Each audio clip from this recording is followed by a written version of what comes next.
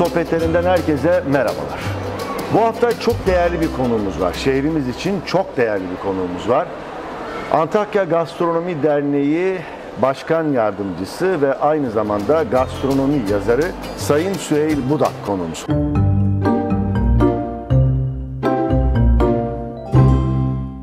Hoş geldiniz Süheyl Bey. Hoş bulduk Mahmut Bey. Nasılsınız, iyisiniz Sağ inşallah? olun, teşekkür ederim. Bu imkanı verdiğiniz için teşekkür ederim. Palladium grubuna da bu arada sizin şahsınızda teşekkür ediyorum. Biz çok teşekkür ederiz. Bugün e, şehrimizin en önemli değerlerinden biri olan gastronomiyi konuşacağız ve bu konuda da Türkiye'de söz sahibi önemli şahsiyetlerden birisiniz. Dolayısıyla da Türk ve dünya mutfağını, özellikle de Hatay mutfağını konuşacağımız kısa bir e, sohbet olur. Belki bunu uzun konuşmaya kalksak günler belki haftalar olacak ama bize en önemli e, yönleriyle Hatay mutfağını anlatmanızı isteyeceğiz ama önce dünü ve bugünüyle Hatay mutfağını anlatmanızı rica edeceğiz.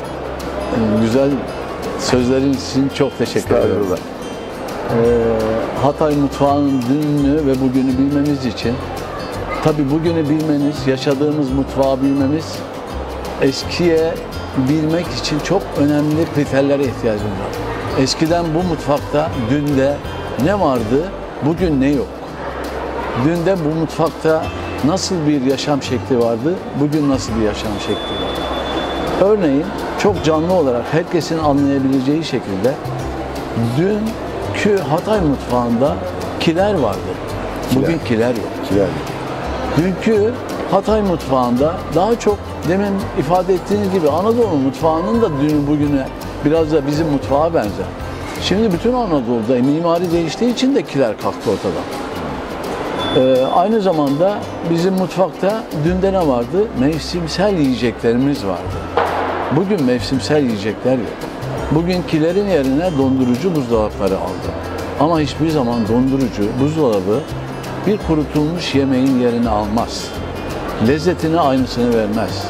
Şöyle bir inanılgı içerisinde hem dünya hem Anadolu mutfağı hem Türkiye'miz şunu ben kışı yaz edebilir miyim? Kışı yaz etmenize gerek yok. Kışın yemekleri ayrı, yazın yemekleri ayrı. Yani şöyle bir şey düşünelim. Yani bu dünyayı yaratan lan biz daha akıllı mıyız? Evet. Neden bize kış sebzelerini, yaz sebzelerini farklı yaratmış? Hiç düşünmez miyiz? Düşünün bir domatesi bugün rahatlıkla bulabiliyorsunuz. O domatesi de kullanıyoruz. Ama yazın domatesinin lezzetini veriyor mu? Veya Evet. bir patlıcanı vermez. Dolayısıyla buradan şöyle bir e, çıkarım yapalım. Bizim mevsimsel yiyeceklerimizi kaybetmiş durumdayız. Bir örnek verelim. Mesela şimdi bizim çok e, mor havucumuz var. Keşir dolması yapıyoruz veya keşir pilavı yapıyoruz. Bu keşir veya havuç bittiği anda bu yemeklerin bir daha yapma söz konusu değil. Ama siz keşiri dondurabilirsiniz veya bunu oyup dondurduktan sonra tekrar yazın yiyebilirsiniz. Ama o lezzeti bulabilir misiniz? Bulamazsınız. Dolayısıyla çok önemli bir kazanımlarımızı biz kaybetmeye başladık. Bir örnek daha vereyim. Şimdi diyeceksiniz ki kiler kalktı ama eskiden kilerde ne koyardınız? Kilerde kurutulmuş yiyeceklerimiz vardı. Yani o yemeklerin e, kurutulmuşuyla dondurulmuşu aynı değil. Kuru, bir örnek verelim. Kurutulmuşlarla ilgili birçok yemeğimiz var. Bunlardan bir tanesi çok böyle uç unutulmuş diye de anlatmak isterim. Kurutulmuş kabak dolmamız var. Kurutulmuş kabak kabaktan dolmamız var ama kurutulmuş Bu- kayısıyla beraber. kurutulmuş kayısıyla beraber. e, kabak bildiğimiz kabak mı, sıyırma kabak mı, normal Yok mi? bildiğiniz Normal, kış bildiğimiz kabağı, kış kabağı. yaz kabağı pardon. Yaz kabağı. Yaz kabağını kurutuyoruz. Yani nasıl e, biz baş biberi kurutuyoruz. Evet. Onu da kurutuyoruz. Onu bu bu yemeğimiz e, Hristiyan Ortodoks mutfağından. Hristiyan Ortodoks. Tabii ne kaybettik? Buradan hemen bir noktaya gideyim. Ne diyoruz biz Hatay'a? E, dinlerin Mozaikleri. mozaik. Ne diyoruz? Kardeşlik şehri. Evet, Evet, hoşgörü. mutfakta kardeşliğin en temel öğelerinden bir tanesi. Yemeğimizi paylaştığımız insanlar dinine bakmadan paylaştığımız ve birbirimize yemeklerimizi sunduğumuz yemek şeyler, e, ürünler. Bugün onu da kaybettik Mahmut. Çünkü eskiden birbirinin içerisinde yaşayan bu ortak din, yani Hristiyan olsun, Müslüman olsun, Yahudi olsun, Ortak bu değer. topluluklar birbirlerinin içerisine girmiştir. Orada pişen yemeği size ikram ettiklerinde o yemeği öğrenmiş oluyorsunuz. Demin söylediğim yemeği bilen, bırakın Hristiyanların içerisinde Antakya'da onlar da çok az bilenlerden. Yani kurutulmuş kayısıyla yapılan kurutulmuş dolmamız. Şimdi dolayısıyla biz neyi kaybettik? Ortak kültürümüzün hafızasını da kaybetmeye başladık. Dolayısıyla dünde olanları unutup yeniye geliyoruz. Yeni mutfakta ne var? Yenide ne var? Evet bu mutfak o kadar canlı ki devam ediyor. Yaratmaya devam ediyor. Ama mutfaktan bir, bir şey daha çıkardık. Kimse farkında değil. Kimi çıkardık biliyor musunuz? Kadınlarımızı. Kadınlar mutfaktan çıktı. Kadınlar mutfaktan çıktı. Ama isteyerek mi çıktı, istemeyerek mi çıktı? İşte ekonomik durumdan dolayı mı yoksa sosyal olgulardan dolayı mı? Evet. Kadın da mutfaktan çıktı. Kadın da mutfaktan çıkınca mutfağımızın yaratıcı bölümü de sekteye uğradı. Şimdi dünden kaybettiklerimiz birçok yemekler var. Şimdi Melahat anneme buradan selamlar. Mahmut Bey'in annesidir. Onun mesela unutulmuş, çok kişinin bilmediği sağ olsun onun yanına gidip bize böbrekli makarna yaptı. Hatırlar böbrekli mısın makarna. bilmiyorum. Kaç kişi biliyor bunu? Çok Belki de iki kişi, üç kişi biliyor. Tadını bilmeyenler de çok. Yaş pasta gibi bir makarna. Yaş pasta gibi bir makarna yaptı bize. Ve emin olun Mahmut Bey çok taradım. Çok taradım. Yani çok taradım derken yüzlerce makale taradım makarnalarla ilgili.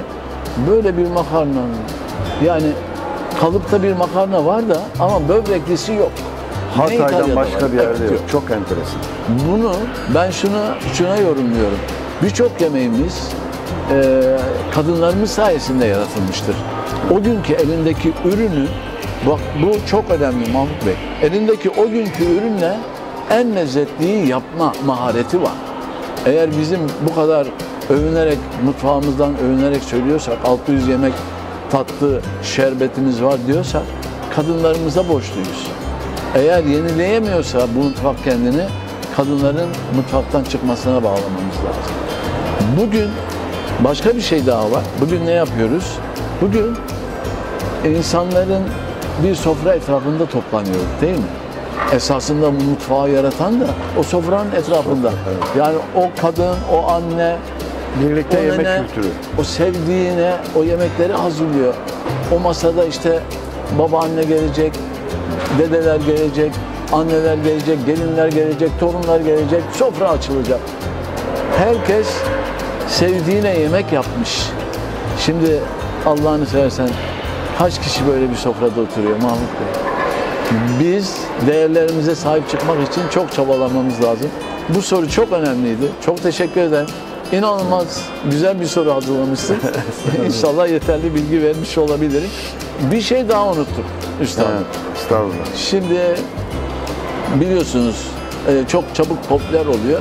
Nar ekşimiz çok popüler oldu. Hakikaten çok e, önemli bir e, ürünümüz. Sos, Ama bir sos sos olarak. Evet sos. Yani bunu e, biz sos olarak sunamadık.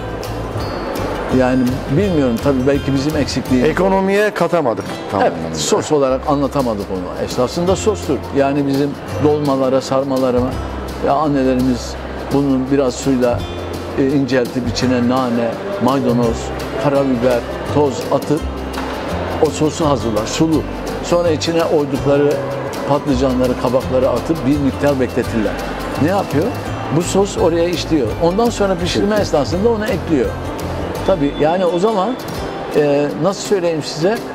Ayrıca yani Fransızlarda sos yapma geleneği ayrı bir yerde pişirip yemeğin üstüne koyuyor.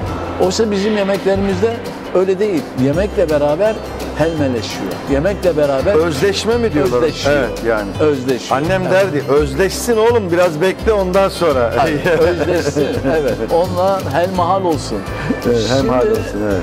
e, biz bir şey daha kaybettik e, Mahmut Bey. Biz etrafımızda ne yetişiyorsa onu kullanıyorduk. Oradan bir mutfak yaratıyorduk. Evet. Örneğin Çok basit söyleyeyim. Herkesin bir asması vardı.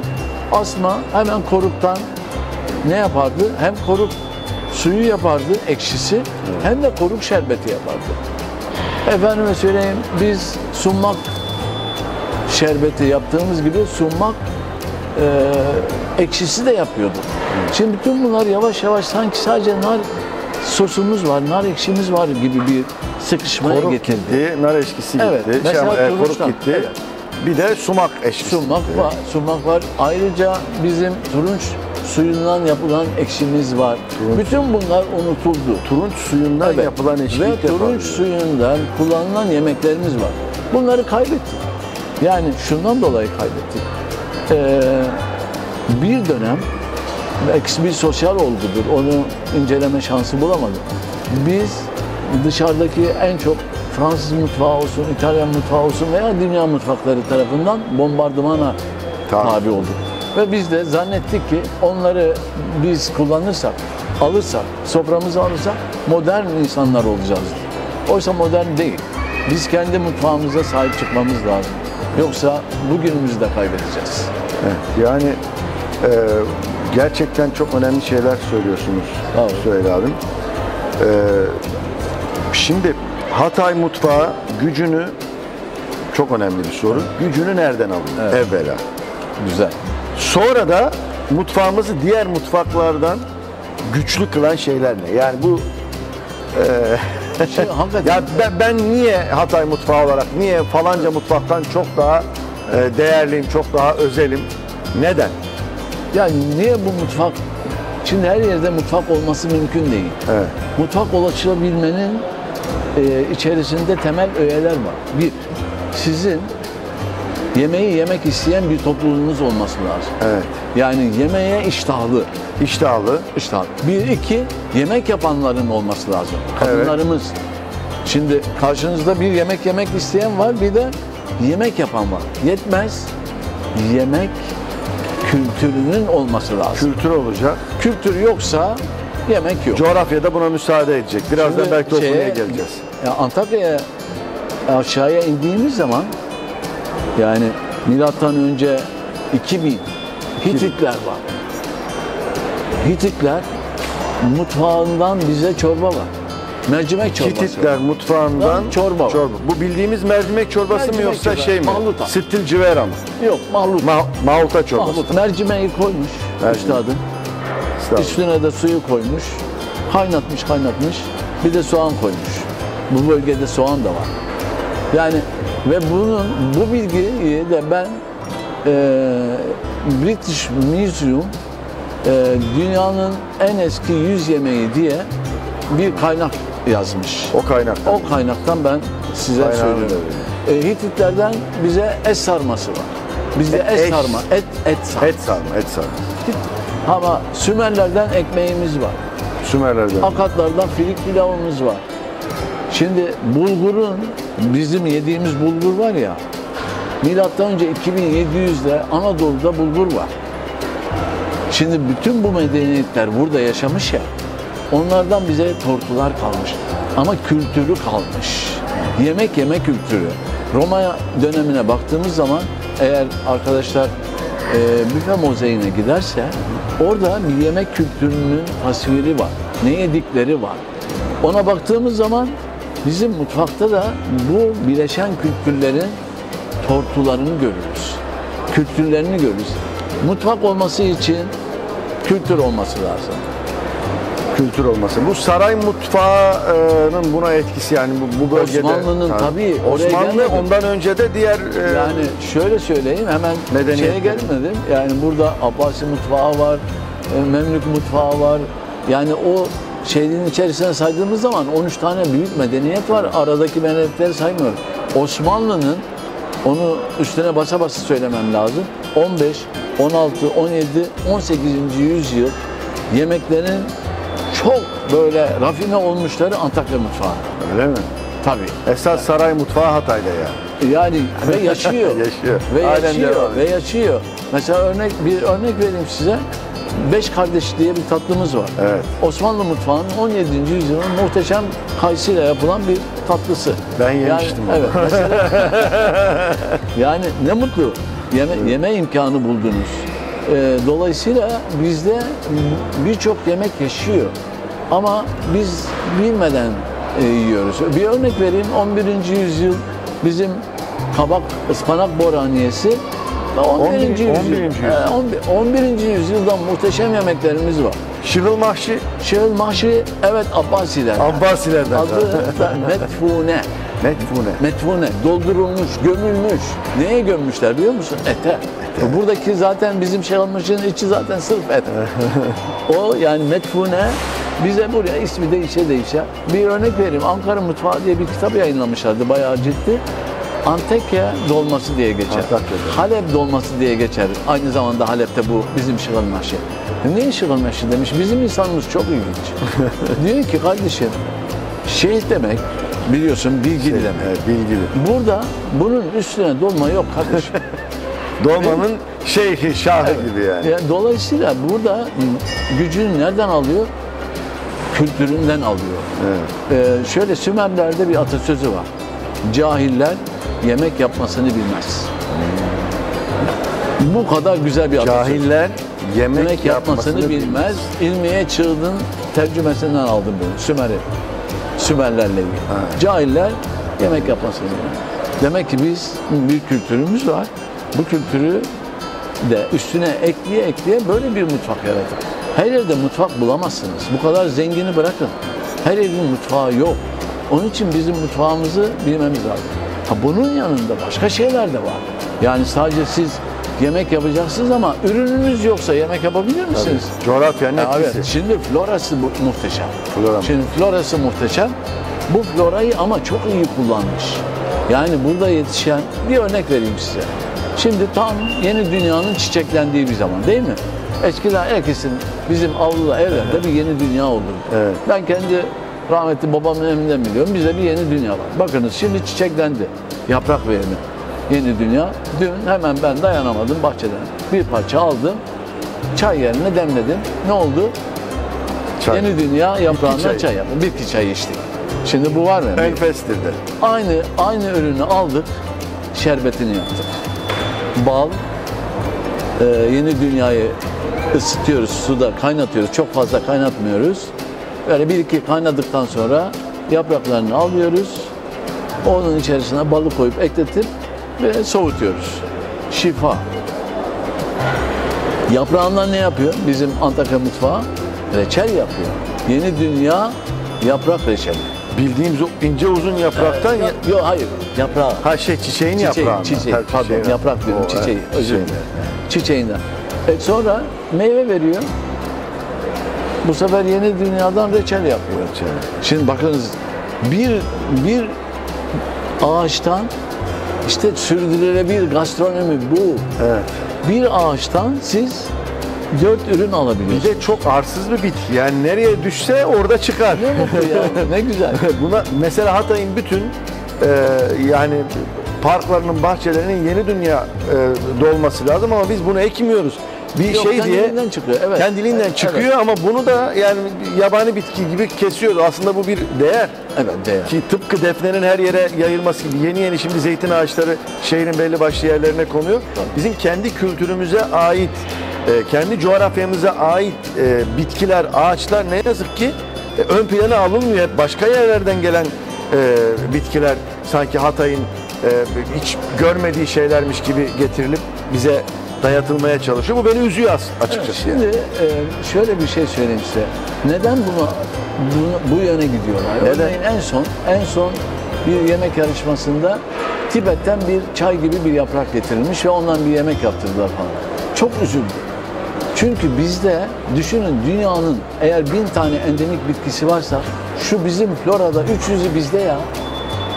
Şimdi onları bırakıyorsunuz. Mesela şöyle bir şey, budama çiçeği var bizde. Budama Aa, çiçeği, muhteşem. çiçeği. Sadece bu bölgede yetişiyor.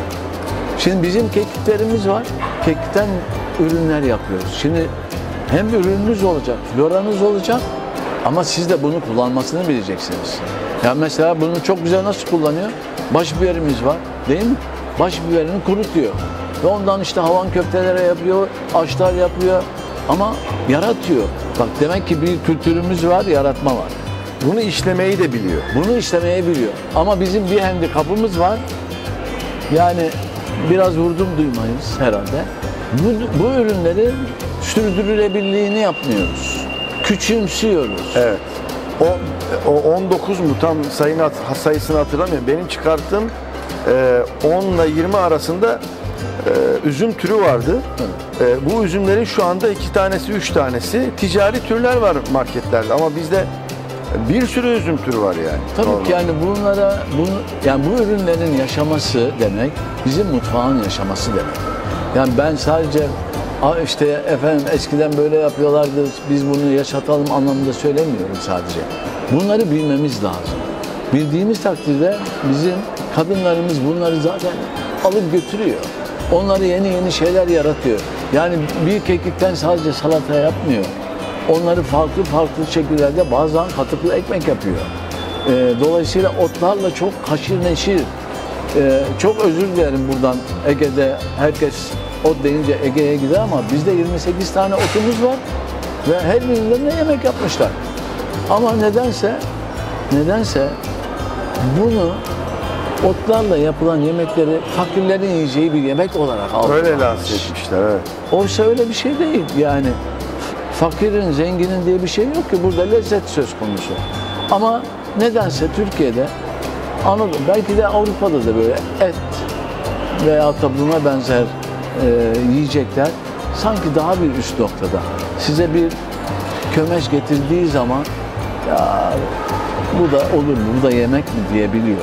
Ama kömecin faydalarını bilmeden belki burun kıvırıyor. Evet. Oysa ki göme, kömeç yani ucuz olduğu için burun kıvırıyor.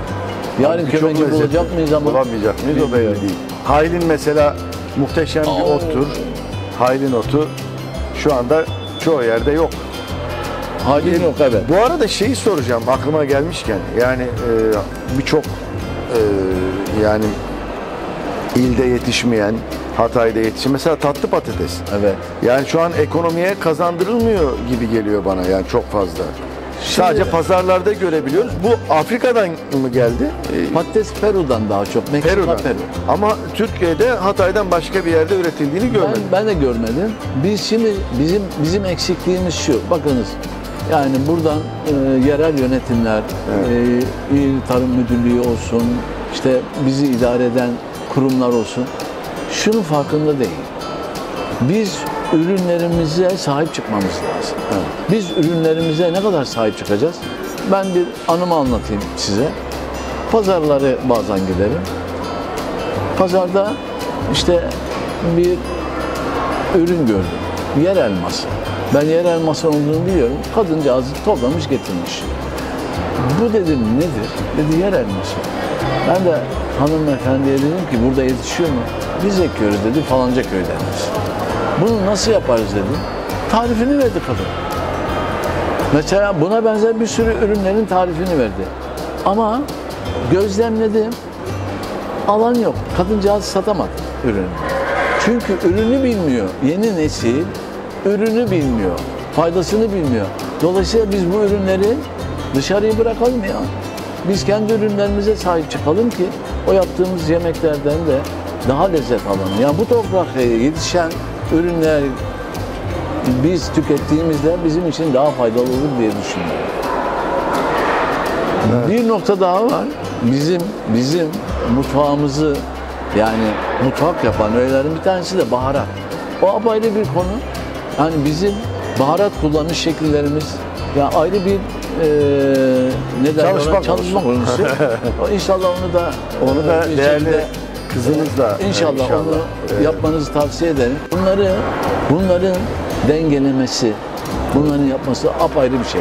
Baharat var, ürün var, yapan annelerimiz var, yaratıcı bir ekip var.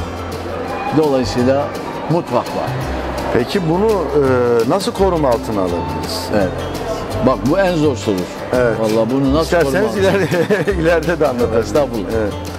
Şimdi Mahmut Bey şunu söyleyeyim. Bir şeyi nasıl koruruz?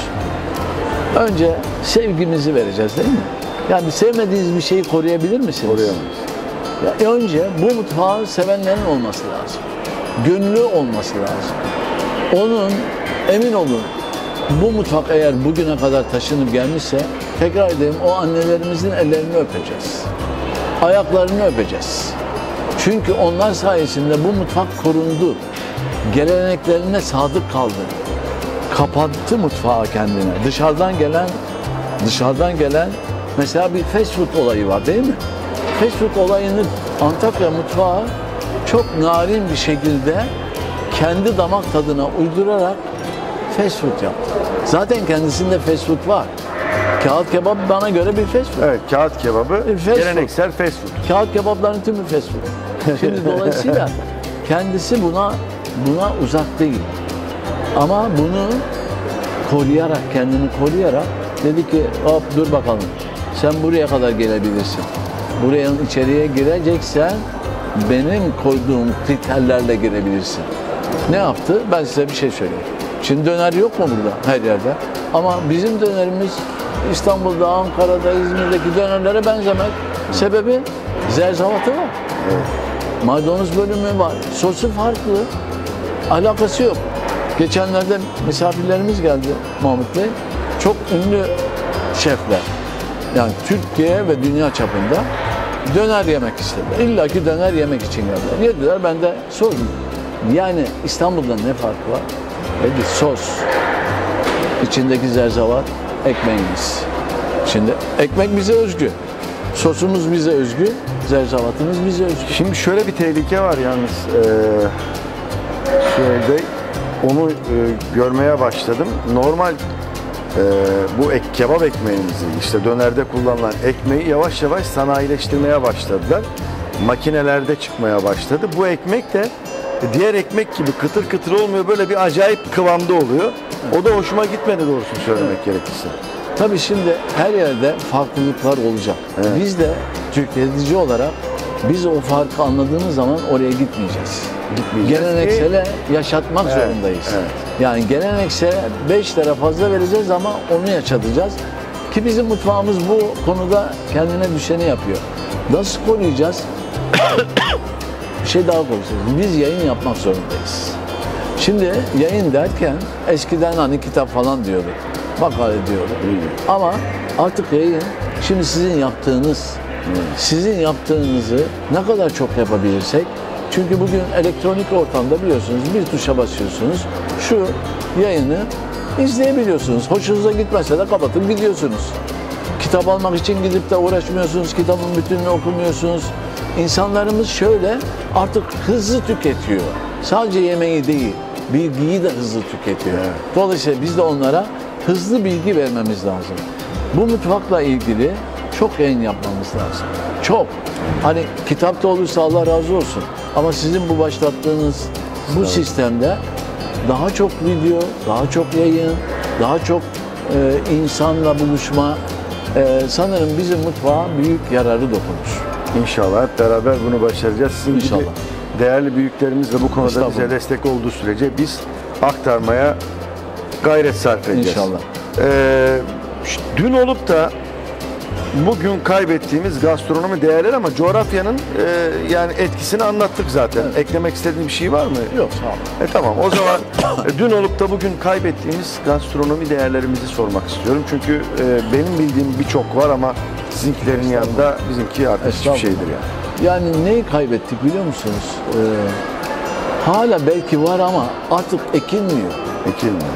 Ne abi? Artık üretilmiyor. Şimdi onları üretmediğiniz, ekmediğiniz takdirde ondan bir şey yapmanız mümkün değil. Ama belki haklı nedenlerle bunlar ekilmiyor. Ta- Yani karşılığını, ekonomik karşılığını bulmadığınız zaman bundan vazgeçmek zorunda kalıyorsunuz. Mesela Şimdi e, bir örnek vereyim.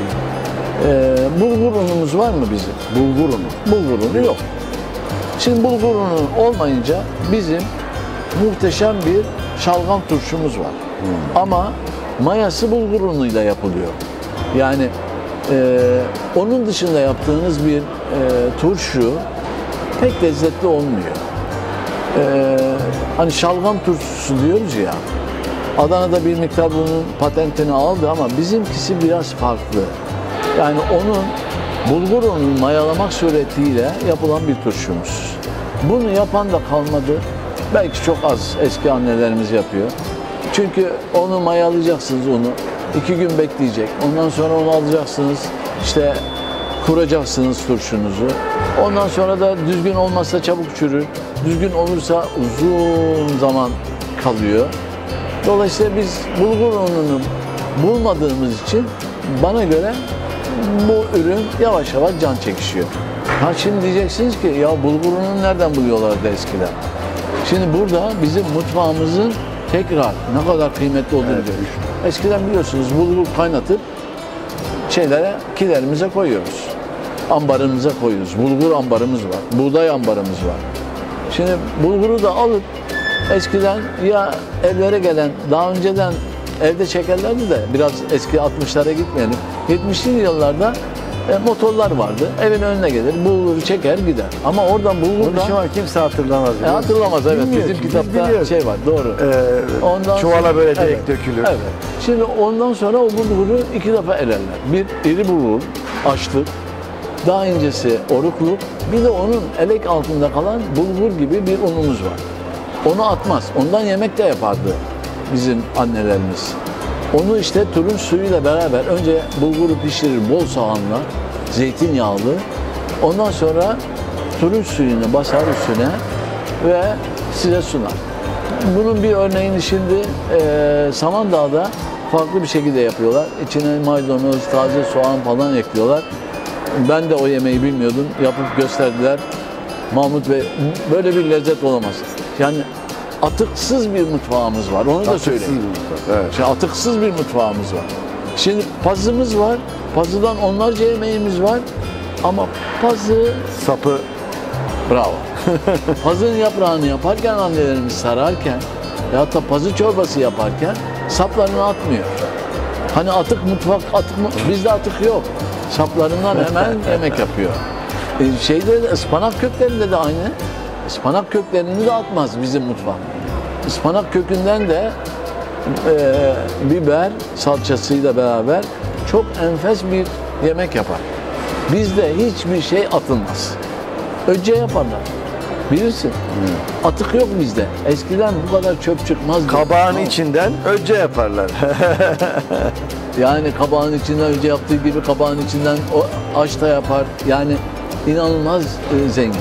Ha ürün ürünlerin yerine, eski ürünlerin yerine yazın ve kışın aynı ürünler ekmeye başlar. Yani domatesi yazın, kışın görüyorsunuz. Pat, patlıcanı görüyorsunuz. Çok önemsiyorum burada. E peki bizim mesela esasında yavaş yavaş şimdi canlandırmaya başlar. Enginarımız var bizim. Küçük aynalı bir enginarımız var. Büfe mozaiğinde de orada resmetmişler. Ee, Romalılar da enginarı çok severlermiş. Çok kullanılan soslarla beraber yenen bir e, Atamızın da son nefesinde istediği Evet. Yemek. Burada e, büyük önderin mutfağı da bildiğini, ne kadar iyi bildiğini de görmek kabil. E, dolayısıyla enginar nerede yetiştiğini bizden iyi biliyormuş. dört yolu da arkadaşı varmış bu arada. Büyük muhakkak. Dört Ama yol. bütün Evet. bütün Anadolu'yu gezdiği için büyük ihtimalle e, bu gastronomiyi de biliyordu, yemekleri de Muhakkak. biliyordu. E, bizim şimdi şimdi yeni yeni sahiplenmeye başlandı enginarla ilgili e, çalış, çalışmalar ve dolayısıyla e, enginar tekrar son yıllarda e, yerini almaya başladı. İnşallah daha da iyi olur. E, bizim kaybettiğimiz değerlerin içerisinde e, şöyle şeyler var. E, günlük yani mesela kışın kullandığımız çaylar var onlar kayboldu. Kış, kış Ne? çayları kayboldu. Kayboldu. Mesela bir örnek vereyim. Hiç siz kekik çayı içtiniz mi? Peki çay içtin mi? tabii? İçiyorsunuz. Ama şimdi birisine kekik çay koyduğunuz zaman burun büküyor. İçilmez bu diyor yani. Evet. Acı diyor. E, Ama o demlemeyle ilgili yani. Budama çayı mesela Budama çiçeği çayı, kalmadı. Çok yani az. bunları kaybediyoruz. Ee, ürün bazında da bazı kaybettiğimiz ürünler var. Mesela ıtır yaprağını çok kullanırdı bizim mutfak. Itır yaprağını. Sır yapma. Taze zır yaprağı. Mesela kabak reçelinde ıtır yaprağı olur.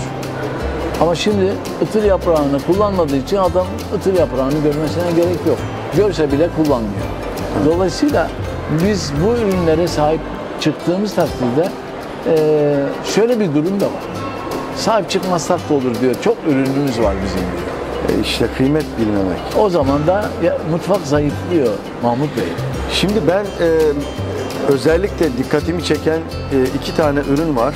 E, biri Menes eriği. Yani öyle mi deniyordu bilmiyorum. İsmini tam doğru telaffuz etmeyebilirim. Menengiç mi? Yok Menes eriği. Menes eriği. Evet. Ha, Şu küçük yeşil bir erik, Küçük içi yeşil. etli Ha, bir erik. evet.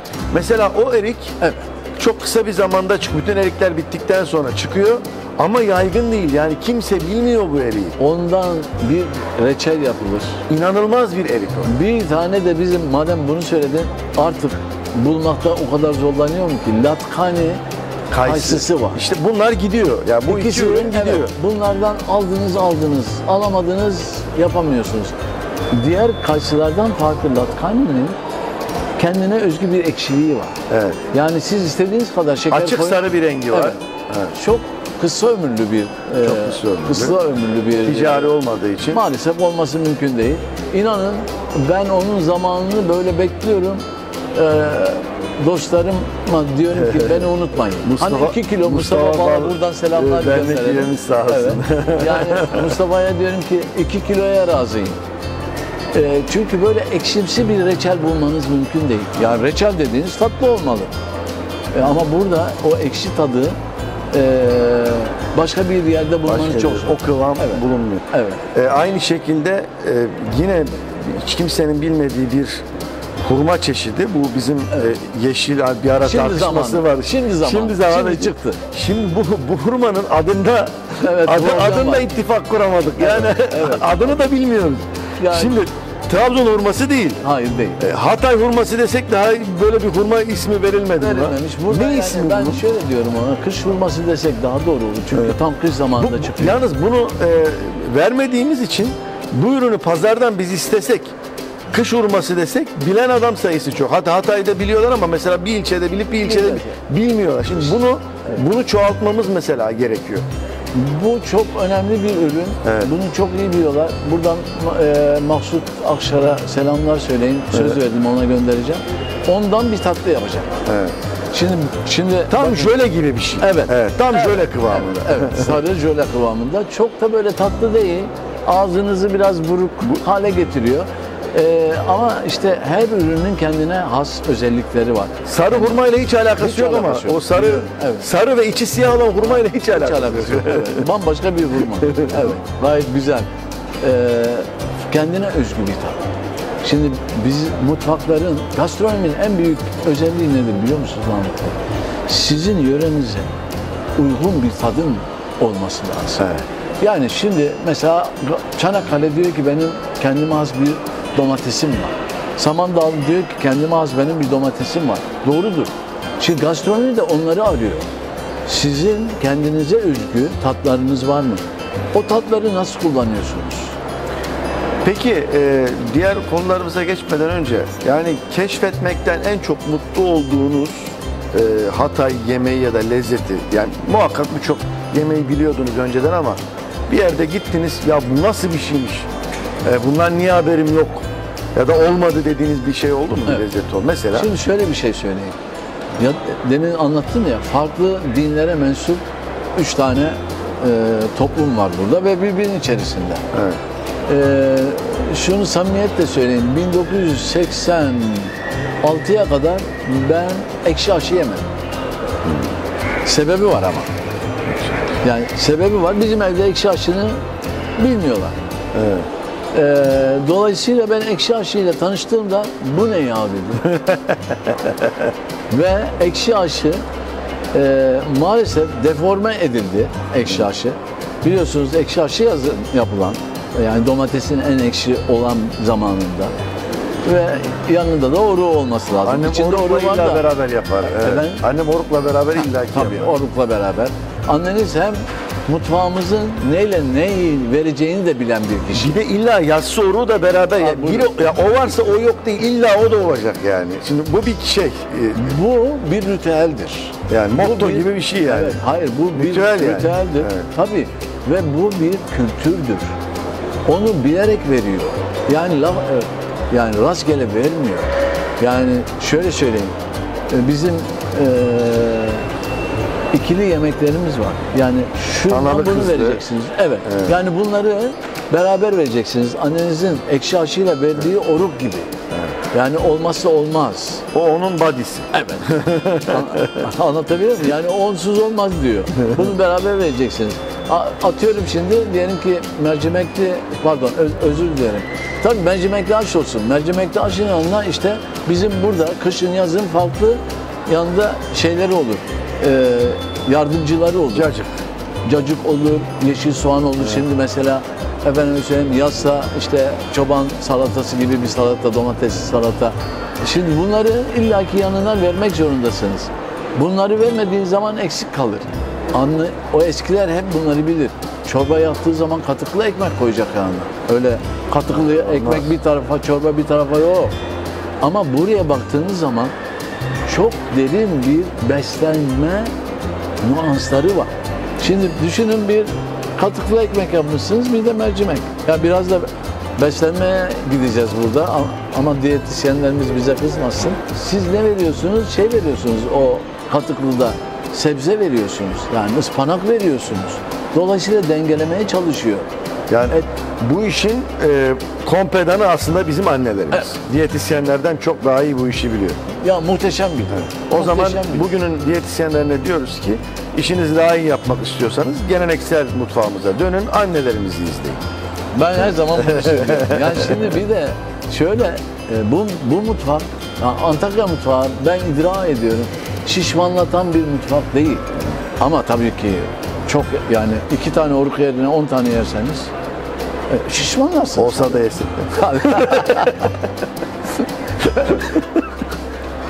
Şimdi bakınız bu sözünüz esasında mutfağın yaratılmasına neden olan olsak da şu yemeği yesek. Evet, bir başka bir şey söyleyeceğim. Bunun da kısaltması var. Çeh.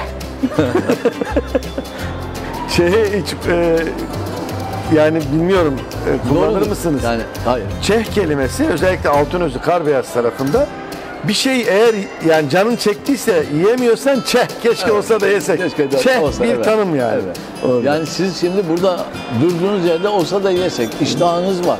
Mutfağı tetikleyen işte budur. Yani sizin yemek yiyen dedik ya, yemek yiyen olacak. Evet, yeşillik bir yer gördüğümüz zaman ilk başta mesela televizyonlar ilk çıktığı zaman stadyumu gördüğümüzde annelerimiz derdik şu yeşilliğin üstünde çeh bir sarmış olsa da yesek yani. Şimdi mesela bu sarma hiç ne kadar güzel yapılmış. Bir tarafında bulgur var, diğerinde yeşillikler. Ya bundan daha güzel bir yemek olur mu Allah'ını seversen? Şimdi de marulla beraber. Bence bu diyet yemek. yeşil Diyetisyenlere söylememiz yeş- lazım. tabii yeşil soğanın bu kadar yakıştığı başka bir şey. Var mı? Yok. Nar ekşisi. ekşisi. Yani bu bileşenleri durup da düşündüğünüz zaman Mahmut Bey bakınız basit değil. Yemek yapmak öyle basit bir iş değil. Bakınız bulgur var, yeşil soğan var, nar ekşisi var, biber var değil mi? Zeytinyağı var. Bunların oranlanması. Bakınız bunlar kolay şeyler değil. Yazmıyor ki oranın eline. Ne kadar biber koyacak ne kadar. Ne yapıyor onu? Gözüyle tartıyor annelerimiz. Annelerimiz muhteşem. Yani bu yemekleri biz eğer bugün lezzetle yiyorsak o annelerimize borçluyuz. Önce bunu unutmamamız Evet. lazım. Şimdi e, o kadar geniş bir e, skala var ki hakikaten bir hafta konuşsak bitmez. E, coğrafi işaret çalışmalarını nasıl değerlendiriyor? Özellikle Mahmutcuğum, Hatay'ımızda coğrafi tebrik işaret ediyorum. önemli mi biliyorsun? Çok önemli. Şimdi coğrafi işaretin ne olduğunu önce biz bilmemiz Nedir lazım. coğrafi, işaret? işaret? Söyle. Ben her zaman şunu söylerim. Bu Avrupalılar akıllı adamlar. İnanın bizdeki bizdeki ürünü bizdeki ürünü kendileri bizden daha iyi pazarlıyor. Ve bunu pazarlarken de bir kriter koyuyor. Şimdi dünyada şöyle bir 1980'lerde 83'lerde şöyle bir korku sardı. Avrupa'yı sardı. Bizim bu dışarıdan gelen hazır fast food var ya öyle bir yayıldı ki Avrupa'ya korktular. Dediler ki bizim değerlerimiz gidiyor. Bak şimdi biz kendi değerlerimiz için Bizim korkumuzu onlar bizden önce yaşadılar. Biz Evet. şimdi ne diyoruz? Ya gidiyor mutlaka elimizden. Aman buna sahip nasıl çıkarız? Avrupalılar bunu bu değerlerin kaybolmakta olduğunu, çocukların bu değerleri bir daha tatmayacaklarının korkusuyla dediler ki bir akıllı bir adam dedi slow food'u yaratacağım. Carlo Pentini galiba. Kim? Carlo Pentini galiba. Evet. Ve Penti veya olabilir. Yanlış. Şimdi yanlış söylemeyelim. Şimdi bu adam çıktı dedi ki kardeşim bir dakika durun. Böyle biz de eskiden nasıl yemek yiyorduk? Bir sofranın başındaydık. Bizim bu değerlerimiz, ürünlerimiz yaratmaya, yeniden ortaya Yorumlanmaya. çıkmaya, çıkartmaya niye bunları öldürelim? Tabii. Bunları yapmak için bir dernek kuruyor ve yol alıyor. Herkes tarafından ilgiyle izleniyor. Aynı mesela bizim burada diyelim ki güzelim turunçlarımız var. Artık turunç görmeniz mümkün değil. O zaman turunç reçeli yapamayacağız. Ne alacağız? Adana'dan gelecek. Adana'daki florayla burası aynı değil ki. Tabii. Dolayısıyla Oradaki bizim burada yerelde yerelde aynı olan ürünümüzü kullanmamız lazım. O da diyor ki yereldeki ürünü ben kullanacağım. Ben dışarıdaki ürünü kullanmayacağım. Esasında o farkında olmadan ben bugün şunu söylüyorum. Sürdürülebilir gastronominin de temelini attı ama o farkında değil. Evet. Güzel bir iş yaptı. Evet. Farkında değil. O zaman slow food'un atası. Evet. diyoruz. Şimdi e, bu böyle genişleyince Fransa dedi ki oradaki uyanıklar ya dedi bu ürün İtalyanlar çok para kazanmaya başladı. Peynirden işte mozzarella'dan üstadım mozzarella bizim Antakya'nın Künefelik peynir. peyniri. Ama mozzarella diyor adam. İşte diyor ki lan bu İtalyanlar diyor. Özür dilerim. Ee, İtalyanlar bunlar çok para kazanmaya başladı. Gelin bunu biz raptı zaptı alalım. Bizim de ürünlerimizi Coğrafi işaret. Tabii bizim ürünlerimizi de biz bu şekilde yapalım. Ve dediler ki kardeşim bir bölgede kendine has bir ürün varsa ve o bölgede yetişiyorsa, o bölgenin karakteristik özelliklerini alıyorsa buna bir işaret verelim. Ne verelim? O coğrafyada yetişiyorsa o coğrafyanın işaretini vermiş olan. Coğrafi işaret buradan çıkıyor. Biz biraz geç kaldık. Türkiye olarak geç kaldık. Onlar iyice Aldı ileriye getirdiler. Tabii bu işleri kurdukları için de kendi standartlarını getirdiler. Biz ne yapmak zorunda kaldık? O standartta. O standartlar. Ama o standartlarla bizim standartlarımızın uyması mümkün değil. Yani şundan dolayı mümkün değil Mahmutcuğum. Yani Fransa'nın sistemi farklı, tarımı farklı, tarım anlayışı farklı, bizimki farklı. Ama buna rağmen buradan Yavuz Tekeli hocama selamlar göndereyim. Türkiye'de coğrafi işaret konusunda çok büyük çabaları olan, coğrafi işareti bize tanıtan, benim de hocamdır Yavuz hocam. Ee, büyük bir çalışmanın sonucunda bunun patent olmadığını, bunun farklı bir etki yaratacağını ifade etti. Avrupalılar şunu söylüyor. Şu tarım ürünü diyor, şu tarım ürünü ben sanayiden daha fazla nasıl para kazanırım? Yani şimdi normal bir peyniri 10 lira satarken ben bunun coğrafi işaretini koyarsam 20'ye satacağım. Ve bundan Fransa geçen sene 27 milyar avro. 27 milyar avro para kazandı. Şimdi sizi biraz geriye alalım. Ee, 2005'lerde falan bu konuya eğildiğim için 2007'de ticaret odasındaydım, meclis üyesiydim. 2008'de biz künefenin coğrafi işaretini aldık. Yani bir sürü zorlamalar falan anlatılanlar. Ticaret odasında. Coğrafi işareti anlatıyorum diyor ki patent mi bu? İsmini alıp ne yapacağız? Anlaşılamıyor. Ve biz 2008'de coğrafi işareti aldık. Ve memnuniyetle 2019'da 21 milyon adet şoklanmış künefenin satıldığını biliyor. Bu bizde Bu coğrafi zenginlik. işareti olduğu için değil mi? coğrafi işaret aldığı için Aldığı için. Yurt içine mi yurt dışına mı? yurt içine ve yurt dışına satmaya Evet, ne başladı. güzel. Bugün bir, bir yeri ziyaret ettim. İsmini söylemeyelim reklama girmesin. Günde 25 bin adet şoklama tesis kurmuş. Hijyen. Günde 25 adet. 25 bin adet. Bakın çok büyük bir rakam. Çok büyük. Şimdi dolayısıyla bize Antakya'ya ne geldi? künefeyle zenginlik geldi. Tabii, tabii. Şimdi hedef buraya olunca bunu aşağı yukarı bugün 2021'deyiz. Düşünün 2008'den sonra 2017'ye kadar hiç ürün alınmadı veya 2015'e kadar ama şimdi 11 ürünümüz oldu. Ee, geçen iki gün önce coğrafi e, ceviz reçelinin coğrafi işaretini aldı Antakya Ticaret Sanayi Odası. 10.sü oldu.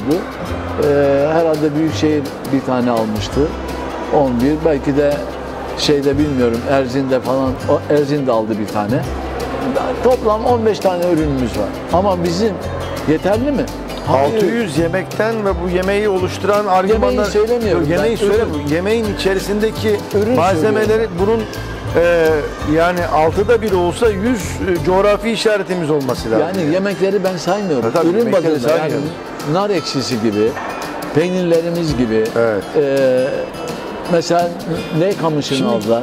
Muhakkak e, ama şimdi mesela künefe tek başına mozzarella peyniri değil kadayıfla beraber olduğu Tabii. ve künefenin coğrafi tescilini alıyorsa Tabii. hani bazı yemeklerin de e, ya da yemekleri oluşturan e, işte gıdaların da ayrı ayrı coğrafi tescillerini alabileceğini Yani mesela budama çiçeğini niye almadılar bilmiyorum. Sadece bu dünyada sadece bu bölgede yetişiyor. Tabii. Şimdi bu ürünü aldığınız Özellikle zaman Habibi Necar Dağı'nın e, Evet. eteklerinde yetişiyor. Evet. yani. Yani şimdi dolayısıyla eee, yani bu ürünü aldığınız zaman bunu paraya dönüştürüyorsunuz. Bir otun coğrafi işaretini aldığınız zaman eee, onun yani parasını 1 liradan 100 liraya çıkartıyorsunuz. Bizim ballarımız var ha çok özel ballarımız var. Ya ben yemeği saymıyorum. Sadece ürün bazında bizim 87 tane coğrafi işaret alacağımız ve bunu sanayiye dönüştüreceğimiz ürün var. Yani şuradan söyleyeyim size. Eğer bir künefede günde işte atıyorum 25 bin adet künefe satıyor istek. Evet, yapıp satabiliyor ve bunu milyonlara çıkartabiliyorsa. Evet, 5 lirayla çarpın, 10 lirayla çarpın, korkunç paraları görürsünüz. Yani bugün bir gıdama çiçeğini alsanız bir paketini 5 liraya verirler size. Onu paketleyip sunsanız 25 liraya satacaksınız o işareti koyduğunuz zaman. Şimdi bizim çökeleğimiz var, çökeleği aldık. Coğrafi işaret. Coğrafi işaret bir mutfağın, bir yörenin kurtuluşu aynı zamanda. Aynı zamanda korunması açısından da önemli. Yani yeni nesillere aktarılması. Evet. Birazdan bu soruyu soracaktım. Bunun da cevabı olmuş oldu. Yani siz yeni bunu- nesillere aktarmak Tabii, için gerekli olan bir vesika bu benim Vesika. diyorsun. Evet. Bunu alıyorsunuz ama burada şöyle bir problem var. Şimdi coğrafi işaret aldığınız zaman çökelekten örnek vereceğim. İçine koyduğunuz 8 baharat var, 7 baharat var. Oranlarını koymuşlar. Ama bizim her evde işte inşallah baharatla ilgili konuşma yaptığı zaman muhakkak böyle şey. Her, her evde ya kimyon biraz daha fazladır, ya karabiber daha azdır, ya işte rezene bilmem fazladır, çörek otu fazladır. Dolayısıyla tat farklılıkları Yorum vardır. var orada. Yorum var. Evet. Bravo. E, ama bu bizi korkutmasın. Yani bu yorum, yorumu yapsın evdeki. Ama biz bütün dünyaya satacağımız zaman o elimizdeki belgeyle işi yürütmemiz lazım. O da bize büyük kaynak getirir. Şimdi düşünebiliyor musunuz? Yani cara çökeleğini aldık, cara peynirini aldık. Siz bunu yani bir obruk peyniri dünyada tanınmıyordu. Son 5 yılda obruk peynirinin kilosu şu kadar lira. Yani o zamanlar zar zor satılan bir peynir son 5 yılda baştan parasını yatırıyorlar. Kendileri peyniri alabilsinler diye. Bizde bu peynirler var. Bu güzel ürünler var. Ama bunları çalışacak insanlara ihtiyacımız var. Tanıtacak insanlara ihtiyacımız var. Tanıtım, Yani tanıtım, kend- tanıtım. kendini ön plana çıkartmaktan çok ürünü gastronomik değerleri ön plana çıkartacak insanlara ihtiyacımız Evet. var. Ne yazık ki birçok kişi sadece bu işi ticari olarak görüyor Evet. ya da kendi tanınırlığını arttırmak için ciddi oranda bunu ön plana çıkartmaya çalışıyor ama esasen ürünü e, bir e, yani gastronomi misyoneri gibi anlatmak e, son derece önemli Yani gibi geliyor. biz belki son 2008'den bu yana sizin bu söylediğiniz ifade çok hoşuma gitti. Biz o misyonerliği yapmaya çalıştık. Siz de yaptınız. Estağfurullah. Yani şimdi e, birçok yemeğin foto şeyini unutulmuş yemeği videosunu çektiniz. Bunlar çok önemli. Gelecek nesillere aktarılacak önemli bilgiler. Aksi takdirde bunlar hakikaten durduğunuz yerde kayboluyor. Bir daha yapmasını bilen de çıkmıyor. Evet yani şimdi ben annem zamanında e, yediğim yemekleri şimdi yiyemiyorum. Farklı yorumlar yiyorum. Yani Şimdi e, ister istemez herkes başka bir e, kültürden insanla evlenebiliyor. Onun kültürü e, sizin kültürünüze, sizin kültürünüz başkalarının kültürüne e, geçiyor. Çok şükür ben yakın kültürden biriyle evliyim ve e, ya birbirine yakın. Ama bu birdenbire de kopabiliyor. Çünkü kadınlar evde yemeği yaptığı için erkekler giremediği zaman bir sonraki nesle evladı o geçmiyor. Yani bir e, keşir dolmasını e, yani bilemeyecek benim e, çocuğum. Evet, bilmiyorum. Yani en Ben- fazla hayatında iki defa yemiş olacak yani. Ben mesela beş kardeşi bir kere yedim. Ya şanslısın. Onu da şanslısın. Mesela- Ama yapacağım. Ama şimdi mesela bir, bir tatlımızı söyleyin.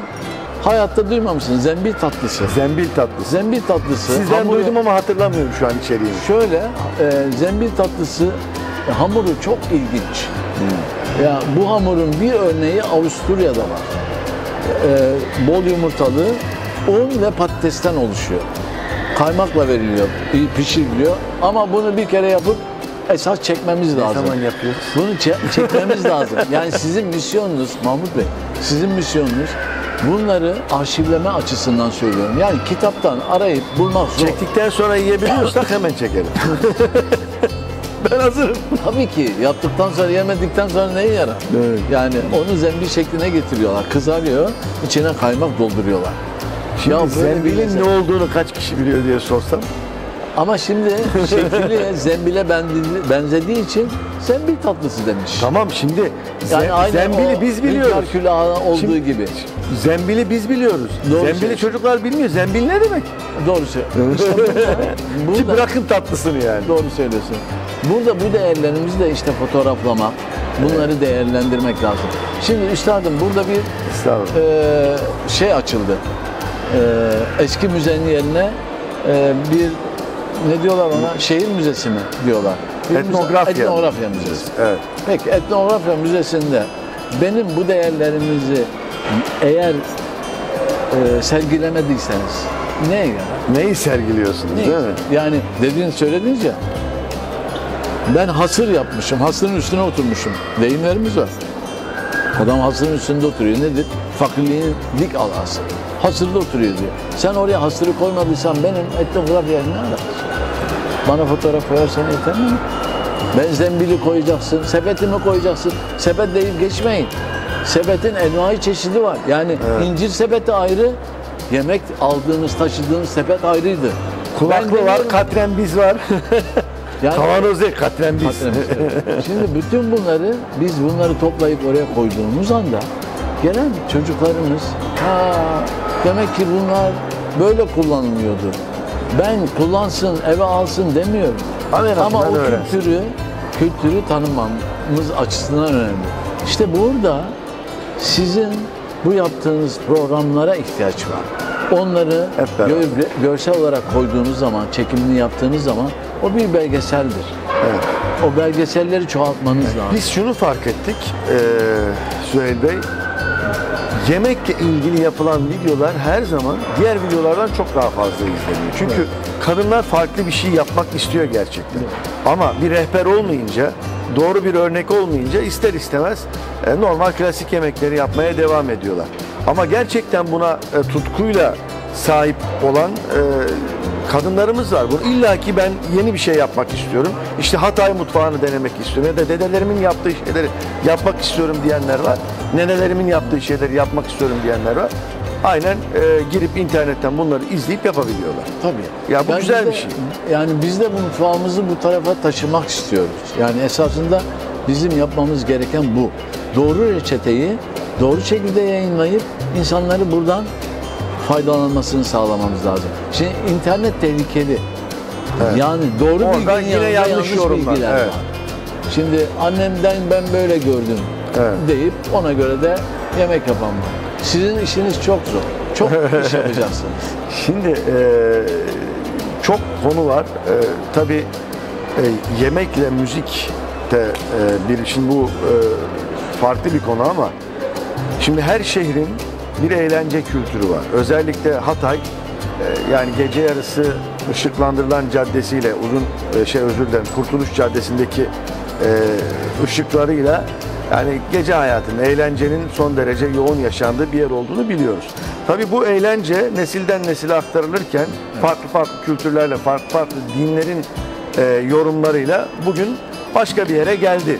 Ama Hatay'da gördüğüm kadarıyla son 150 yıllık süreçte bizim bir müzik kültürümüz yok. Aslında var, cille var ama bunu da yeni yeni e, işte Antakya Musiki Cemiyeti'nin de katkılarıyla, işte e, Antakya Gastronomi Derneği'nin de katkılarıyla e, bir yere taşımaya çalışıyoruz. Urfa bunu sıra gecesiyle taşıdı ve bu müzik kültürü gastronomiye de tesir etti. Çiğ köfteydi. Bütün bugün bütün e, Anadolu'da çiğ köfte e, satılır oldu. Şimdi çiğ köfte bundan önce yoktu Hatay'da. Yani satılmazdı. Yok, satılmaz. Evlerde yapılırdı ama satılmaz. Şimdi her tarafta çiğ köfte var. Şimdi bu, bu kültür yayıldı. Ama bunun e, çiğ köftenin yayılmasının altında yatan neden de muhtemelen sıra gecesi. Doğru. Biz neden e, cille gecesi gibi e, müzikal değerlerimizi kullanmıyoruz? Özellikle onu sormak istedim. Mahmut Bey şimdi esasında Cille Gecesi'nin özeti Künefe Gecesi. Künefe gecesi. Yani eğer doğrusunu istedi, onun dışında bir şey yapılmaz. Evet. Eskiden biliyorsun televizyon yok. Ama insanlar Künefe kablamak derler değil mi? Evet. evet. Şimdi eskiden insanların birileri illaki ya üç çalar, cümbüş çalar, darbuka çalar. Her evde birileri var. Gençler ne yapsın? Gençler müzik işleri bitti. Böyle hafta sonunu beklemezler. Beraber arkadaşlar toplanır. Mesela diyelim ki size geleceğiz. Herkes bilir ki siz künefe yapacaksınız. Yani künefenin bir ritüeli de bu. Yani bilirler ki size geleceğiz, siz de bize bir künefe basacaksınız, biz de o gün künefe yiyeceğiz. Bu tür insanlar orada birbirlerine şakalaşırken çok naif maniler söyler. Maniler. Evet. İnanın evden artık onların defolun gidin diyeceklerine maniyle artık evin uykusu, ev sahibinin uykusu geldiğini, arkadaşların herkesin eve gitmesini isteyen manilerle cevap verirler. Muziblik olsun diye maniyle cevap verirler. Belli bir süreçte içerisinde bizim Antakya türkülerimiz var. Antakya türkülerini söylerler bu gecede. Gençler sesi güzel, iyi, kötü öyle bir şey yok. Bütün sesler güzel. Cümbüşü aldı, darbuka var. Başladılar çalmaya. Yanlış anlaşılmasın burada. İçki değil, içki faslı yok. Evet. Burada Bunun üzerine parantez evet, içerisinde açıyor. künefe üzerine. Künefe var. Sohbet var. Belli bir zaman gelince artık şarkılara doyduk. Ya kardeşim nerede kaldı bu künefe? Künefe gelir. Bizim e, ayakkabıcılar çarşısında esnafın birbiriyle şakalaşması meşhurdur. Doğru. O ona bir şey söyler, o ona bir şey söyler. Bu iş e, en son e, bir tepsi kebabında biter. Evet. Şimdi muhtemelen bu da o kültürden gelme, o manileşme kültüründen gelme tabii, gibi geliyor tabii. Yani şimdi şöyle söyleyeyim. Künefe önemli bir tatlımız. E, dışarıda satılmaz mı künefe? Ev tatlısı. Evde yapılır. Ev tatlısı. Ama bir şam tatlısı evde yapılmaz. Ça- yani sokak tatlısı. Ve bunları Sokak da... lezzetlerine gireceğim aslında evet, ama. Evet. Bunu da böylece e, mutfak kesin bir hatla belirlemiş. Yani evde pişeni sokakta pişirmez. Sokakta pişeni evde pişirmez. Çarşı Kesin- fırını diye bir şey var mesela. Evet, çarşı fırını.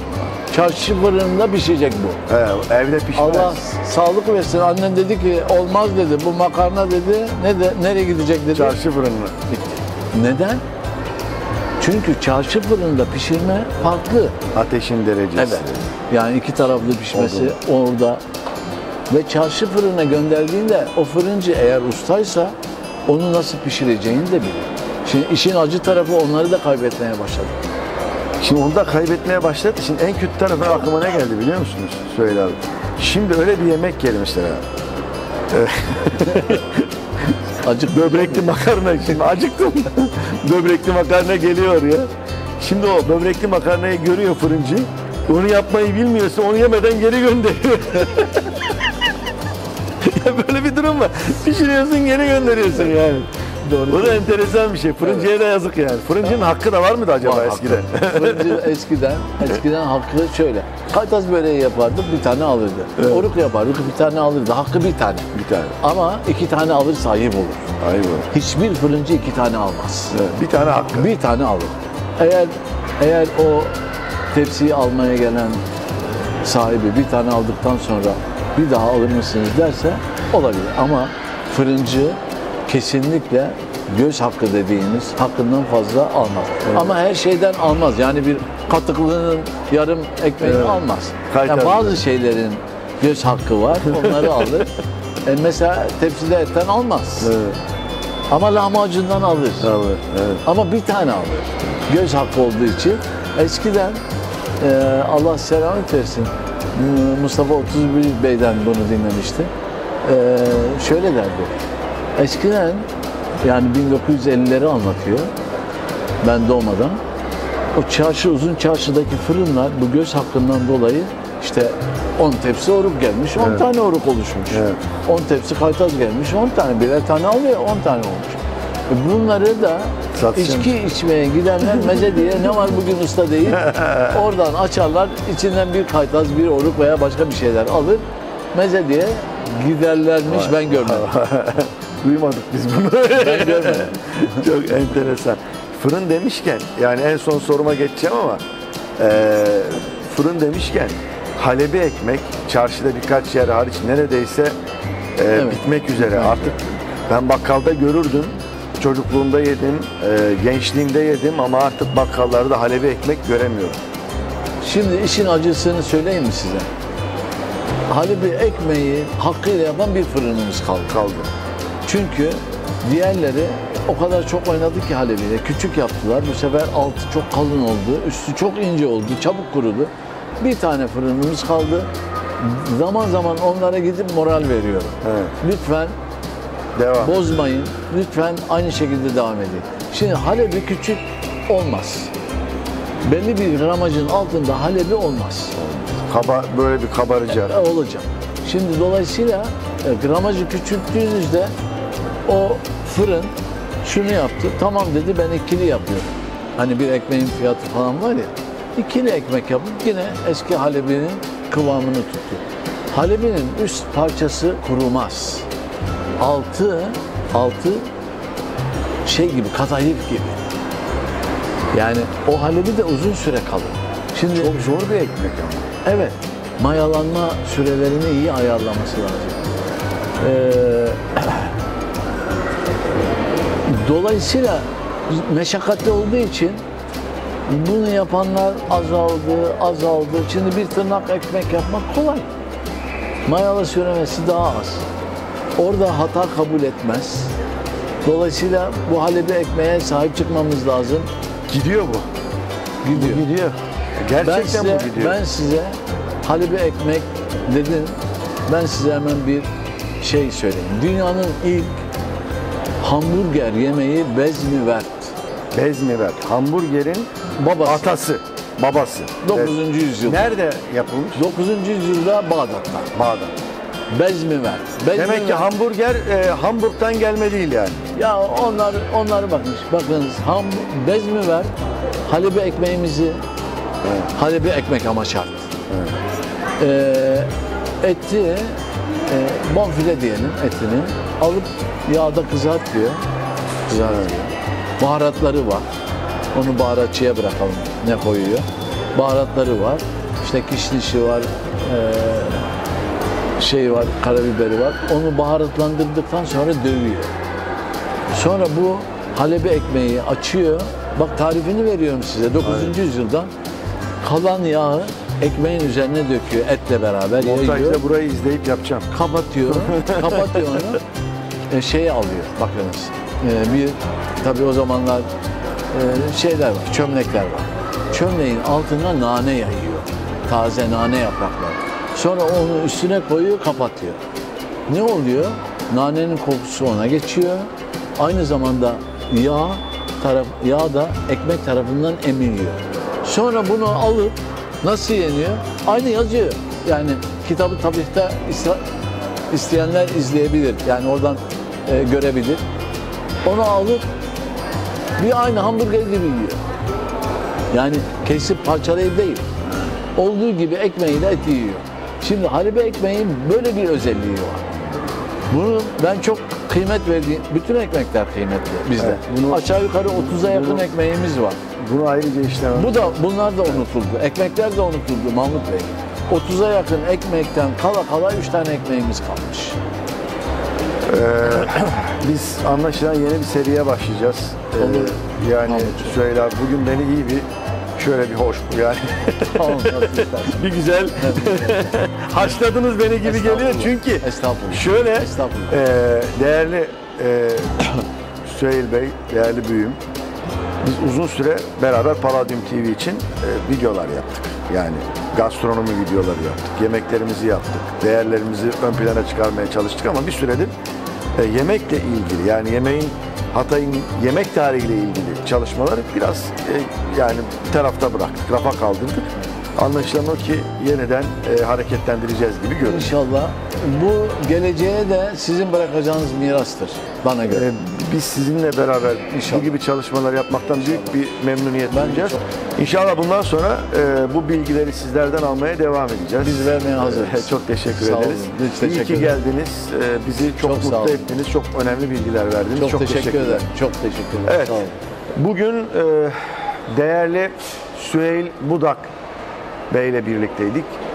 Süheyl Budak, Antakya Gastronomi Derneği Başkan Yardımcısı, çok değerli bir gurme ve tabii ki bir gastronomi yazarıydı. Kitabı da var kendisinin. E, Biz o kitaptan çok istifade ediyoruz yemeklerimizi yaparken. Özellikle Palladium TV'de yayınladığımız yemekleri yaparken. Kendisine buradan ayrıca teşekkür etmek istiyorum. Efendim bir sonraki Palladium Sohbetleri programında birlikte olmak ümidiyle hoşçakalın. Hoşçakalın.